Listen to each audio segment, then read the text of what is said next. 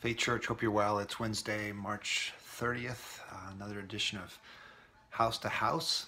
Um, I hope that you have been reading through Romans with us.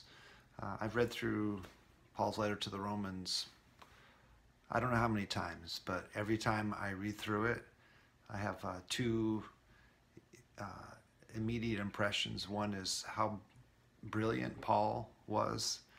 Um, Secondly, how how gracious God is.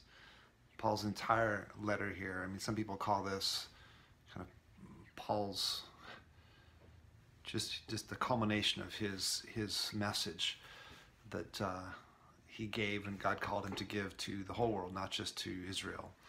Um, and it's brilliant. And today we read through chapter five, and chapter five includes this this portion that's high, it's chapter 5, verse 8 is quoted often. Many of you know it by heart. And uh, it basically says that God demonstrates his love for us in this that while we were still sinners, Christ died for us. And I want to read you just a little little bit uh, of that section from the message, which is Eugene Peterson's paraphrase. This isn't a translation, but it's his interpretation of what Paul writes there, and I just think it's really worth hearing. So just try to do your best to listen to these words today.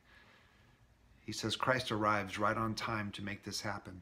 He didn't and doesn't wait for us to get ready. Think about that. Jesus, he didn't wait for us. He just does what he's going to do.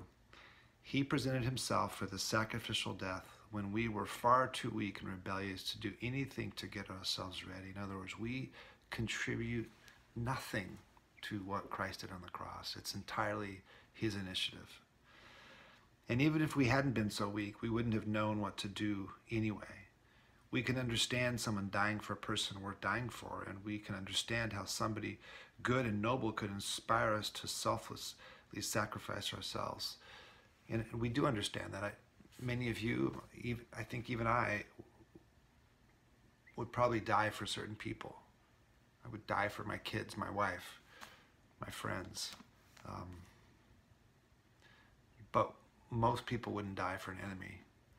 Most people wouldn't lay their life down for someone who's trying to take their life. It's just unthinkable. Nobody has that kind of love. And yet, this is what the this is the verse 8 I talked about.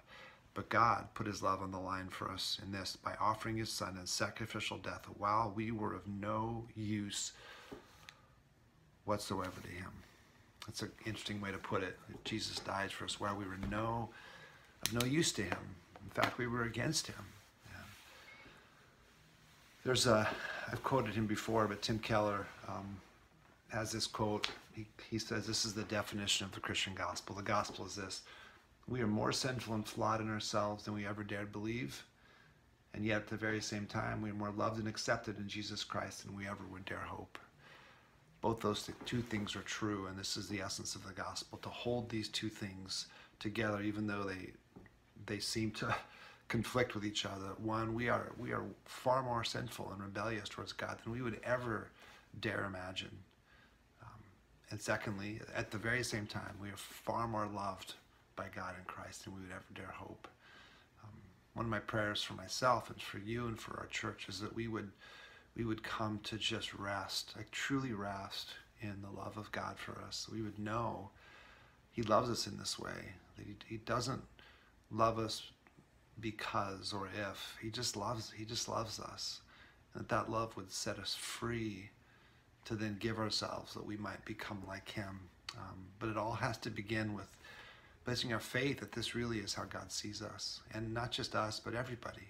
Um, if you haven't been reading through romans i really encourage you. Such a it's a perfect letter to read through as we move in the season of lent. Um, tonight we're going to gather again for our Lenten service uh, at 7 o'clock, and I've heard from so many of you how encouraging it's been to hear the stories of, of uh, different brothers and sisters in the church about how God has been working their life. And tonight, Jeff May, many of you know Jeff, will uh, share his story. I, I, got to hear it at length yesterday, and God's got some has done some amazing things in his life, and I'm so eager for him to share some of those with you and for you to be encouraged in your own faith as you hear that. So we'll, we'll gather at 7. I hope you can come, or if, if, if not, at least to tune in online.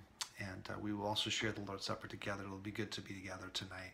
Um, wherever you are today, I pray that you would know God's, the Father's love for you and the, the peace and grace that comes through Christ and the presence of God through the Holy Spirit. Peace.